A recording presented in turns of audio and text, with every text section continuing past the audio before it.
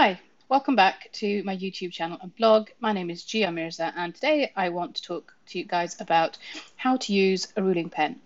Now, I have written a blog post about this uh, subject over at www.jeeamirza.com and would suggest you go and have a look at that as well. Um, my advice would be watch the video first and then have a go uh, with me because I think it will help.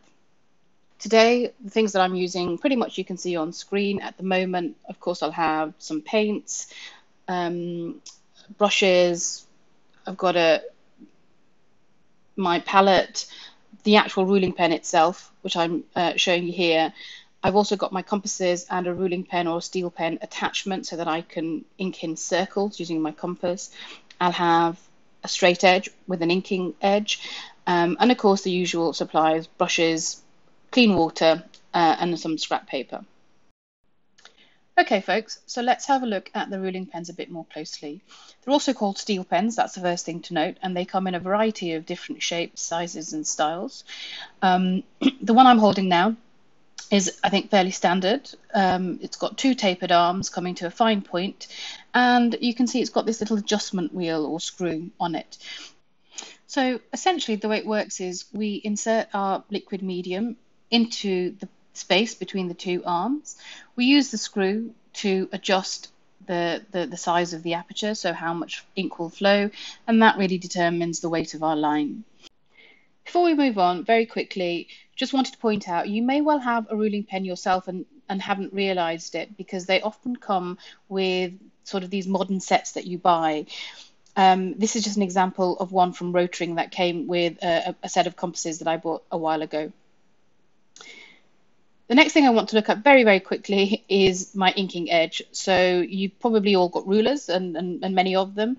Um, the ones that I'm showing you right now from Rotring, and they actually have a step built in, so they're undercut, um, which allows for easier inking. But if you don't have one of those, a regular ruler will work just as well. As long as it's got a beveled edge, you simply flip it over, put it down, and can you see that rocking motion? That essentially will allow you to use that edge that's lifted up from the paper as your inking edge. So a quick note on paper, I'm using this Daler Rowney Jumbo drawing pad. It's a fairly heavy weight and it will take a light wash of paint. You can use ink on it. It's acid free and it's a lovely smooth texture, so perfect for what we're doing today. So I've got a piece uh, pre-prepared uh, and cut up for, for scrap paper. I've also drawn a little box of just uh, straight lines that will be useful for us um, when we start to practice using the pen. I've also got another uh, piece of paper that we can use when we start to ink in circles. And I've also drawn a little geometric pattern um, that we can also use to fill in. Um, so it's just all a part of the exercise that we'll be doing today. Okay, so the next thing to do is to prepare your medium. Now I'm going to use gouache today, which is a type of watercolor. So I've squeezed a little bit into my palette and I'm just mixing it up into the consistency that I like, which is like melted ice cream. Um, that works really well for me. So now our paint is ready, we need to prepare our workspace. Just a few important things to note. We should never fill our ruling pen above our directly above our work because spills will happen. Um, it's just it's a part of the course. Um, so you should be really, really careful about your space and your environment when you are getting ready to, to do this. So the next stage really is to load up the ruling pen with your chosen medium. So in this case, our paint. As you can see, I'm using um, a brush to gently stroke paint into the, the, the gap between the two arms. And it's important to note what we never do is we never dip the the nib of the, the ruling pen into the paint. A, you don't want to damage the fine points, and B, that's this is not a dip pen. Um, I'm also showing you here that it, it, it doesn't take too much force or energy for the paint to drip, so you do need to be careful. Um, if the consistency is right, it shouldn't just drip as it is, but any sudden movements or sort of jerking, um, and you are going to have a spill uh, on your hands. So please do be careful. Now, um, I'm going to give you uh, uh, another closer look at that again. Um, so what you can see now is I've zoomed right in and I'm using a slightly different color, but you can see that I've set or adjusted the, the gap to where I want it. And my paint, um, I've picked it up on my brush and I'm very, very gently just sliding the brush against the side of the ruling pen. And in doing so, it, it actually just transfers the paint into the gap between the arms. So it's quite a gentle movement. You don't need a lot of force. Um, just take your time and work slowly because if you don't, you will end up with splatters. Um, your brush will flick and you'll end up with um, splats all over the page. And it happens to me all the time, to be perfectly honest. Um, but it, it's something that you need to take care with once it's filled, uh, you, saw me do this before, but I, I always have lots of small pieces of uh, tissue or a bit of a, a, soft cloth, and I gently wipe the ruling pen. So we're all set to finally start making some marks. So we've got a filled ruling pen on our left, our paper set up in front of us, and so it's time to pick up our, our, our straight edge. And I'm using my rotring ruler that's got the uh, inking edge built in. And I'm just carefully lifting the pen. And the first thing I do whenever I start is I just try to make a small mark to see is the paint going to flow. Um, I often do that on my fingers, you've just seen there. And then the next key thing to do is align the pen vertically against the straight edge. That is the best way to get the best quality of line. And the reason is you need to have both points of your ruling pen touching the paper. So, yes, you might have a slight angle when you're actually drawing the pen back, but really the pen needs to be vertically aligned to the paper so that both points of the arms are touching your piece of paper. If that isn't the case, then you'll start to see issues with the, the quality of line. At this stage, we're just doing a warm up. So, what I'd recommend you do is have a play, um, you know, change the the wheel, uh, the the adjustment screw, and you know see how fine a line you can create and how thick a line you can create. So I would just uh, as I said, experiment a little bit with your ruling pen. Um, and you can see at the moment, I'm trying to get a fine line, but the paint doesn't really want to flow. And it may be that I've actually tightened it too much and there's just not enough space, or maybe the paint is drying slightly key thing to remember is there is quite a bit of trial and error involved here, and it's important not to get frustrated. What I want to show you next as well is just what I was referring to earlier. I've just zoomed in a little bit so that you can see it a little bit better. I here you can see I'm angling my pen as I'm trying to make my mark and you can see the quality of the line is very poor it's not clean at all. It's got blurry edges and the paint just didn't want to draw.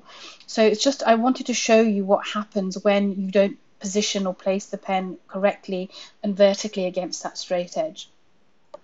I would also say, excuse me, every time you want to refill the pen, it's really important to give the pen a good clean or a wipe before you try to refill it. If necessary, swirl it through some water, but be careful not to scrape the bottom of the pot with the pen. The, the points are really, really fine, and it's important to keep them that way so you don't want to knock them or drop them or scrape them. What you've just seen me do there is also something that happens quite a lot. So, in the process of refilling and cleaning off the edges, I've managed to pull all of the paint out onto the paper, and that will happen from time to time. It just takes again a little bit of practice to get to know how how softly and how much pressure you need to apply to wipe the, the tips of the pen. But that will happen and it happens to me actually quite frequently. And so you just get used to it um, as, as you uh, practice more and more. I, I think what just remains to be said then at this stage is, you know, take lots of time and just practice, draw lots of lines, play with the adjustment screw, work at different, you know, weights of line, get a feel for your climate and the temperature around you. That will have an impact on how quickly your paint dries. Understand, you know, how many lines you can ink before you need to refill. All of this is really helpful information and will come in really handy when you're actually working on a on a if you like a good piece of work where you're trying to outline. But the key thing to remember is you will have to work slowly. This is not something that can be done quickly. In this next stage, or step two, we're going to take it up a notch. And so what I want to do in this exercise is try and ink in some pre-drawn lines. And so actually this is a really good reflection of my own artistic practice where I've, you know, drawn a design which I then want to ink in or outline. Um, and so this is very much uh, linked to how I work. So what I want you to do as well in, in this exercise is I want to try and aim for a graded effect. So at the top of the box, going to try and do really fine lines. Um, and so try and get the finest lines you can with the, the ruling pen that you're working with. And then every few lines, stop, use the adjustment screw to uh, allow more paint to flow through and, and give yourself a heavier weight of line. And so really it's like an ombre effect or a graded exercise where at the top we're going to have our finest lines and by the time we get to the bottom of the box, you should be inking in your heaviest lines.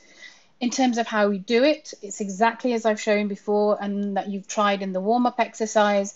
Um, but again, the point of, particularly for this exercise, is really to practice placing your ruling pen and visualizing the exact, um, I guess, place you need to be to, to cover a, a pre-drawn line.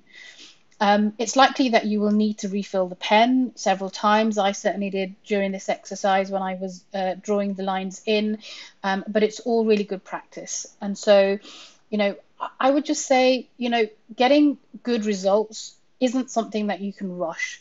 You will have to take your time. You may need to let the paint dry. Um, you'll have to adjust the, the screw and test the weight of the line every single time, and that's why you have your little bit of scrap paper right next to you. Um, and yeah, it's, you know, uh, take your time, go through the exercise, don't forget to clean your pen um, as you refill it, and enjoy it. And, and you know, it'd be uh, really interesting to see how you get on. Uh, another really nice touch with this exercise is once you've come to the end of it, try and put a border around um, the box, um, which you can see me do as well. You can see the completed piece that I've got up on the left hand side in, in, in dark blue in the ultramarine. Um, I, I think you can see that placing the border really is an effective way of finishing a design um, and, and just adds a really nice touch.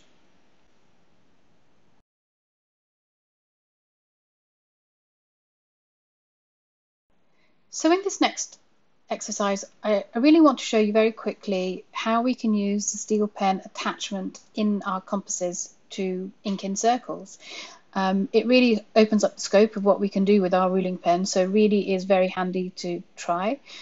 Um, what I would recommend is you need to get your compass radius all set and positioned before you start to ink um, or add any sort of uh, paint to the ruling pen attachment. You can see there I'm also adjusting the, the knuckles that are um, uh, that, that exist within the compass. And the reason for doing that, as you will see in a second, is to make sure that when the compass is drawing its line or inking its line, that steel pen attachment remains vertical to the paper. Obviously, we won't be using a straight edge because we're making a circle. Um, but it's still important that the pen itself remains vertically positioned uh, and both points of the pen are touching the paper when we're drawing.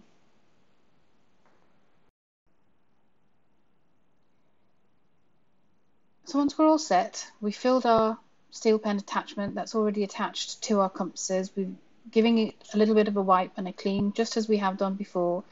We then take a lot of care to position our needle into the paper wherever we want it. And you can see I'm using both hands all the time um, when I'm positioning the compass. And so when I finish making the mark, you see again I use both hands to adjust the radius so that I have a lot of stability. I'm not actually removing the, the compasses this time because I want to create a series of concentric circles and that's what I'm aiming for. But what I am doing, um, and you'll come to see, is I'm adjusting the top screw, which changes the radius or the thread, um, but I'm also adjusting the screw at the bottom, which is down on the actual steel pen itself, um, as we did earlier. And that is the one that adjusts the amount of paint that will flow through. And hopefully you can begin to see now that the weight of the line that I'm drawing is changing. The line is getting heavier as I'm moving inwards towards the center of the circle. This, I think this is a really great exercise and you can get some really um, good results with a little bit of practice. Of course, you can vary line weight, you can use multiple different colors. Um, so, really, you're just limited by your own imagination. But I think, again, a really good exercise to try before we move to the next stage. So we really are coming into the home stretch now, folks. Um, in this last exercise, what we're really going to do is pull everything together and use the compass with the steel pen attachment, as well as a ruling pen to ink in our circles and this little pattern um, and straight lines that we can see.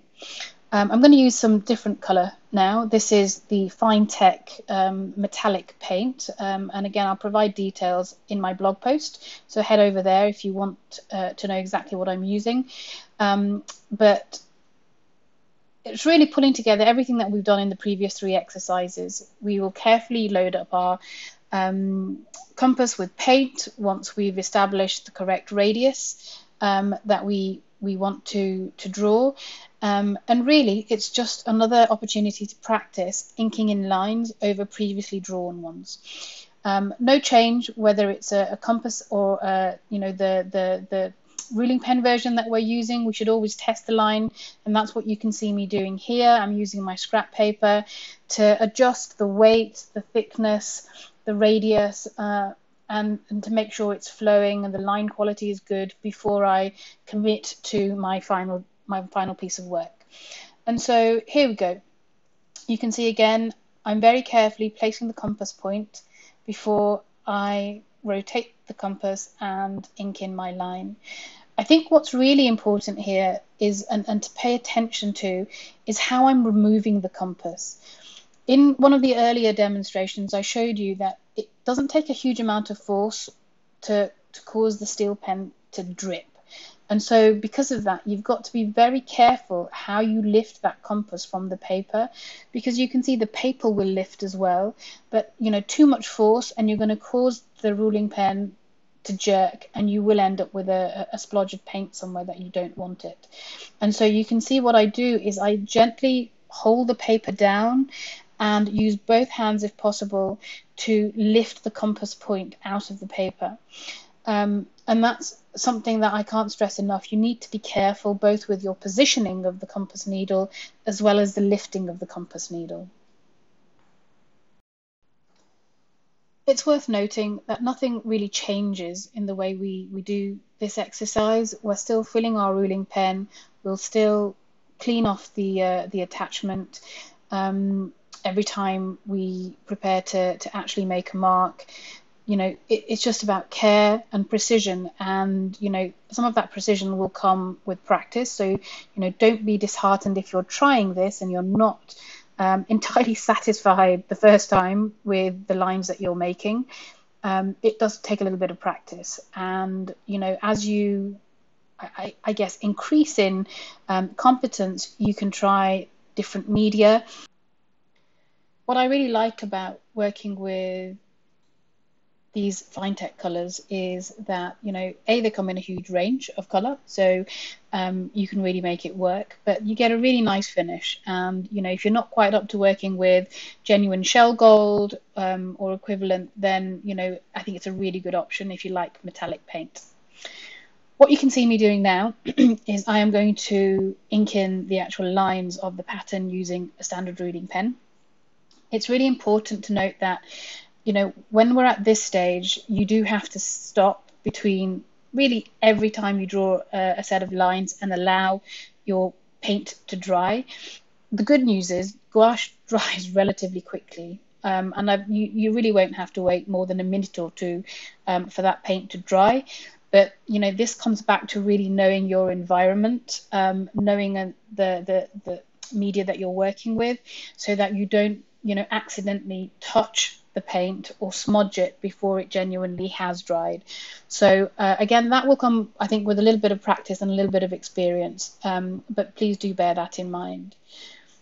What you can also see, or you may have noticed, is I, wherever possible, will work in um, one direction. So, you know, in this particular pattern, you can see that we have pairs of parallel lines.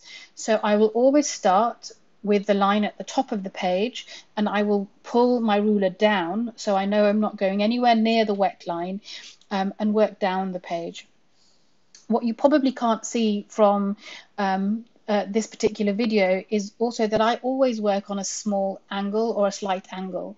Um, very easy to achieve. I simply have my drawing board and put a heavy book underneath it and it gives me a very nice gentle slope. Um, and that also helps um, when you're working in that one direction, both with the paint um, um, but just bear in mind that you know putting brushes or pencils and things like that on your drawing board, you don't want anything to fall downwards on you whilst you're working. So just be very careful again of your environment as you work. I think the only other thing to say is really, you know, you really do need to be patient here. As you can see, I've left this in real time so that you can see how long it takes for the paint to dry. And it really wasn't very long at all. This was filmed in one clip. Um, but you know it's quite warm. Uh, it's what July in London at the moment whilst I'm filming this, and so you know the air is very warm. It really takes you know maybe half a minute or if that for the lines to dry, um, and you know with very little effort, I think you end up with a really really attractive design, um, inked in this beautiful metallic watercolor, um, and yeah, I'm really happy with it. Okay, so now um, I've sped up the, the final few seconds because um, it's really quite repetitive, but I'm really just inking in the final couple of lines here. Um, once that's done, obviously give your ruling pen a quick rinse, um, careful with the points as I mentioned earlier. Um, and now you can see that the gold has dried, the paint has dried, and you get a really lovely, you know, super sharp, super precise um, line drawing using, you know, whatever ink or paint or medium um, uh, that you'd like. Um, so it's a really nice finish. So there you have it, folks. That really is the end of the tutorial. Um, just, I guess, a few words to finish on. Uh, it does take practice, so, you know, don't get frustrated, but please do give it a go. Um, look after your pens and you know they will last for a very long time. So please keep them clean. Try and avoid dropping them or banging and scraping them because the, the fine points are really um, the thing that provide you with that beautiful crisp finish. Um, as I mentioned, I have got an accompanying, accompanying blog post that goes with this video. Um, so do go and read that because I have a lot of other links to other really helpful resources on how to care for your ruling pens, how to maintain them, how to sharpen them, um, where to get them, and so on. And um, so all of that information is available in my blog post. You won't find it linked in the YouTube um, uh, description because there's just too much information. Um, but I will provide a link back to my blog post for that. Um, so really just remains for me to say thank you for watching. I hope you found the um, video helpful and I really hope you can use it in your own practice. Thanks again. Bye bye.